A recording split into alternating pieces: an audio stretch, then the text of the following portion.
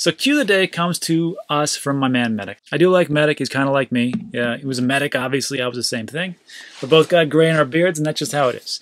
But um, he has a good point here, and I had talked about this in another video, but I want to make it crystal clear: is that he says, "Hey Dan, well, yet another safe gimmick," and he's talking about the ink that is uh, uh, being produced by this ghost pen. So let's jump in the office. This was pre-recorded a while ago, but uh, I think it's good to note right now. So let's jump in and uh, welcome back to uh, Q of the day. And actually, it's it's not so much really a question, but it is a comment, and it's a pretty good one. So uh, this was actually after we did a video and we talked about the Stone Book or the Shield Folio. And you know, I like it. I like to use it. it seems to save me a lot of heartache because I don't want to lose all my cryptocurrency. There's a lot of different things out there, but uh, it's a low tech option. I like it. So this is from my man uh, Medic, RVN Medic, and uh, I, I, I, like I like this guy because he does. Uh, he's just like like I am. He's an, he's an old medic and got a lot of good things to say. So Medic, thanks so much for this comment. It really put things into uh, into light. And he states, he goes, yet another safe gimmick. Does the manufacturer have an estimate of the life expectancy of the disappearing ink? It might be gone in one year. Who knows? Um, and before we move on, what he's talking about is that uh, the Shield Folio product is it's just a it's a lightweight pocketbook that is tear resistant, tear resistant, water resistant, tamper resistant, and you put in all, all your seed phrases and mnemonic phrases and passwords.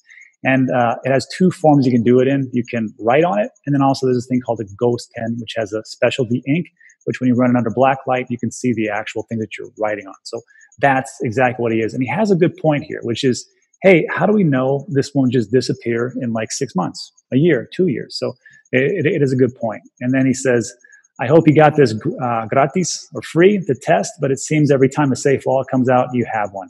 Uh, medic, that is true. Uh, people send me stuff all the time. And uh, I, I got to tell you, I, I show you guys a quarter of what I get actually get sent. He says, I'll pass on this one, just like the money I spent on a Ledger Nano. I said, well, Medic, where do you, where do you uh, store your, your passwords? And he says, hey, uh, in our in our home safe on a seed card. So it comes down to this: everybody's different, and they have their own little styles of way to do things. Medic has a rock solid way to do it. You know, he's got a seed card he puts in his in his uh, safe, and that's good. Some people do something else, but this is what I do, and maybe this is for you. So I reached out to uh, the founder and CEO of uh, Shield Folio or Stonebook, and I asked him that question, and he is on today. Freddie, thanks for joining us. Really appreciate it. How's it going? Glad to be here. Uh, hey, everyone. Great. All right, Freddie. So that's the question. Um, we have this ink. We have to trust it.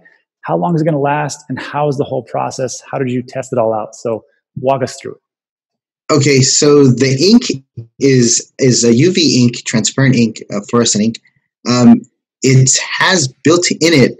It's permanent. It's waterproof, and it has a super glue uh, solution in it that binds to the stone paper to make sure it actually could last a lifetime, super, not multiple lifetimes. Super, super glue, like like ape strength style.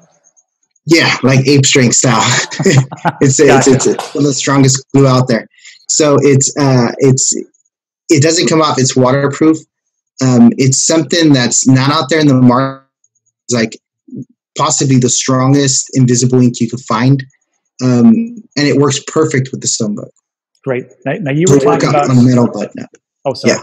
Uh, you were talking about working with with a chemist before when we talked because that was the big thing. So how did that all come? Yes, uh, we were just working with a chemist, uh, trying to get the solution right, making sure the ink doesn't dry out uh, after a certain amount of time because we're using super glue, and we actually came up with this super strength solution, and it's like I said, the strongest. I believe the strongest out there right now. That's you know Gotcha. And you said that you were doing, you were testing it against permanent ink, like black marker ink, and you would rub it with what kind of solution to, to wipe it off?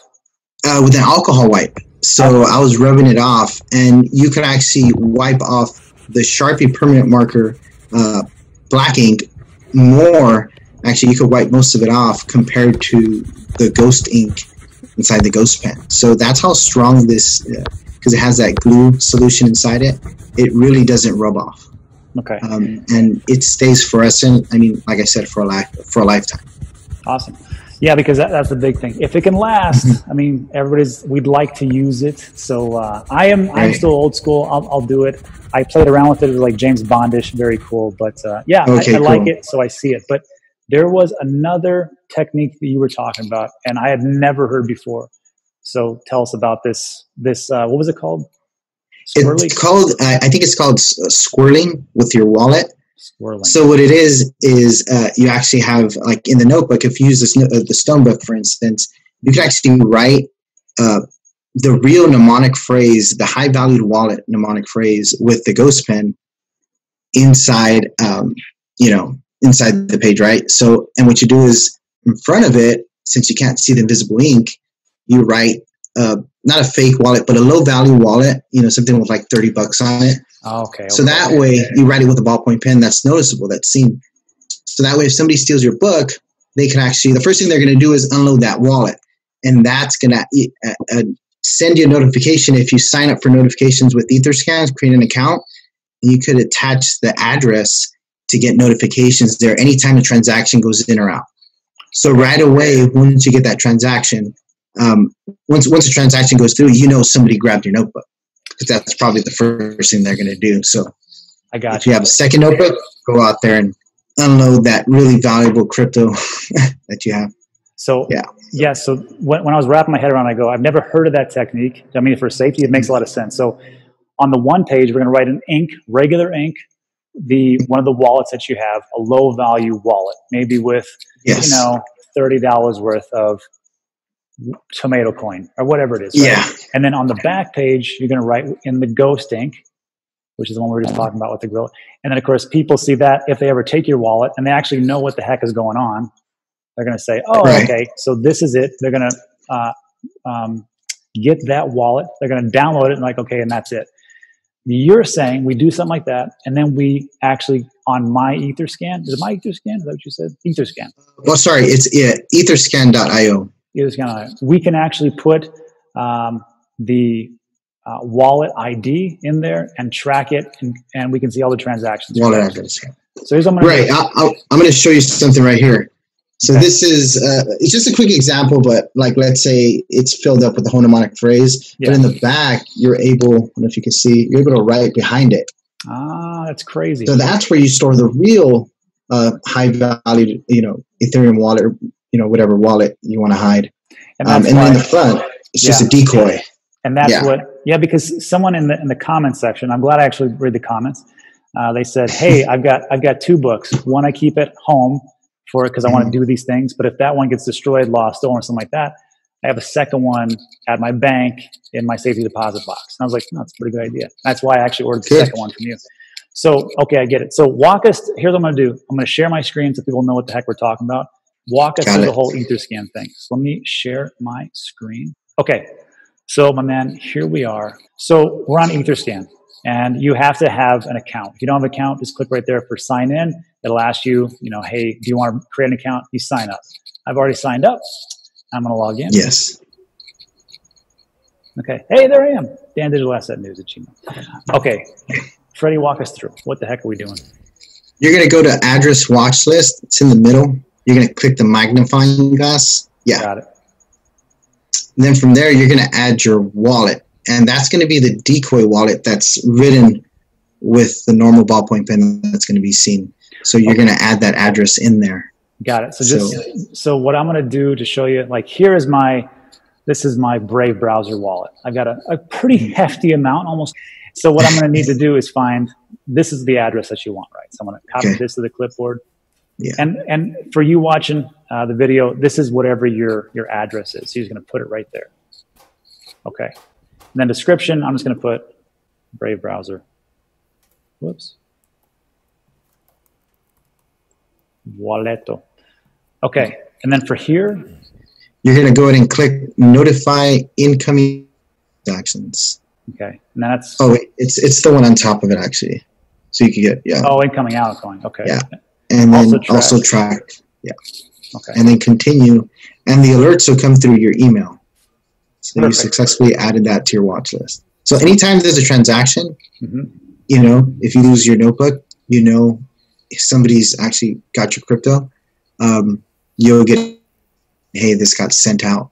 And uh, that's where that's the address you use, the decoy address. Behind that actual decoy address, you you're writing down in the page with the ghost pen. It's a good tip to have out there just to stay secure. So if uh, you watch this, just know that you can go right to shieldfolio.com and find it, or you can, what I always do, is I, sometimes I forget, I, I put in Stonebook and cryptocurrency. However, if you go in the description, you can get 15 of every one of my videos. To look something like this. And then when you click on that link, it'll give you 15% off. All right. Well, Freddie, we really appreciate it. Thanks so much. Product is great. And uh, yeah, so thanks so much. And uh, that is it for tonight. Thanks. Thanks again for uh, being on the show. And uh, we'll talk soon. Thank you for having me. All right. I'll Cool. see you. All right, that's it. So thanks for sticking with me through the whole thing. Um, again, you can find uh, the link in the description below, along with many others if you're uh, interested in those types of things. I, again, I've got a couple of those books, so uh, I totally uh, believe in them. Also, if you don't know, I have a second channel, and the reason I, I created Dan Clips was for two reasons. One is because sometimes I talk a little bit too much, so I like to break things down into clips so you can just see like little six minute, seven minute clips instead of going through the whole 30 minutes to find what you're looking for. Second reason was it's like a backup channel because YouTube at any time just go, you know what, Dan, we don't like your channel, get out. And uh, they could shut me down. So have to have some kind of backup, and this is one of them. On top of the of my Theta channel, which I really need to get back into. We just came over from El Paso to Houston. We're gonna be in Houston for the next three to four weeks, then I'll go back. So a lot of things going on. But uh, that is it. So uh, again, thanks for sticking with me. Really appreciate it, and uh, I will uh, see you on the next one. Dot, dot.